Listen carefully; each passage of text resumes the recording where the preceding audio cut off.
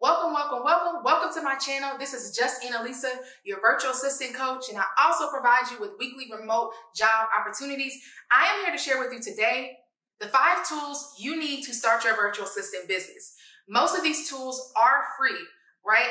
I've created a six-figure virtual assistant business and I'm still on a lot of the free platforms that you can use and tools you can use for your virtual assistant business. Okay, be sure to subscribe if you're thinking about becoming a virtual assistant or you want to be able to work from home because I constantly provide amazing content for you all so that you can work from the comfort of your own home. Five tools you need for your virtual assistant business. The first thing you want is a project management tool. There are so many different project management tools out there. I currently use Asana. I used to use Trello. There's ClickUp. There's so many different options out there and many of them kind of do the same thing. I would recommend starting on the free version before you pay for any project management tool.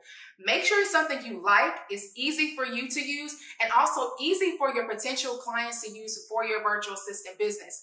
This will allow you to organize your tasks. This will allow you to add deadlines so that your clients know when you will be completing work, when things are in progress, and when you have initiated and started certain tasks. Also, you're able to store information on there by clients. So you can create different boards, different folders to keep yourself organized with the many clients you'll have for your virtual assistant business. Next, you need to figure out how you're going to get paid. You need some type of invoicing system. So I currently use PayPal Business to send invoices for my clients, I recommend getting paid on a monthly basis and getting your money up front before you even start doing any work for your virtual assistant business, okay?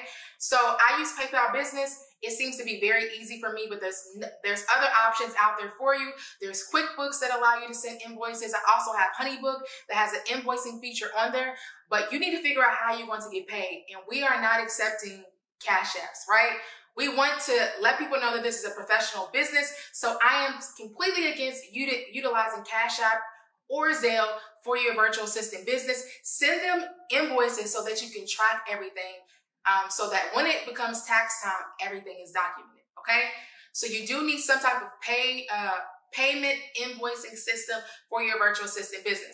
All right, the next tool that you need for your virtual assistant business, honestly, any online business I would recommend is Canva. Canva is Canva is a design tool that you can use to design things for your business or your client's business. I will say from my experience working as a virtual assistant, most of my clients know what Canva is and they expect me to kind of know a little bit about Canva. You are there to create content either for your business, but you can also create websites in Canva, landing pages, you can edit your reels. So I would get very, very familiar with that tool for your virtual assistant business. Next, I would also figure out how you're going to market your business. So I would say social media. Use social media as a tool for your virtual assistant business. So I get most of my clients either from word of mouth or Instagram. So I use Instagram as a tool to get more leads for my virtual assistant agency, Elevated Assist. And lastly, lastly, lastly, you will work with clients that want to make sure their information is secure and they're not getting giving their card information out all willy-nilly or their passwords out. So I would recommend getting LastPass. LastPass gives the client an opportunity to share multiple passwords without you actually knowing what the password is, right? So use that tool for your virtual assistant business. There's some other options available for you. I'll put links to every tool that I mentioned today in the description box. Be sure to subscribe to this channel so I can share with you on how to create a successful virtual assistant business. I'm a virtual assistant coach and I teach people how to make four to five figures a month as a virtual assistant.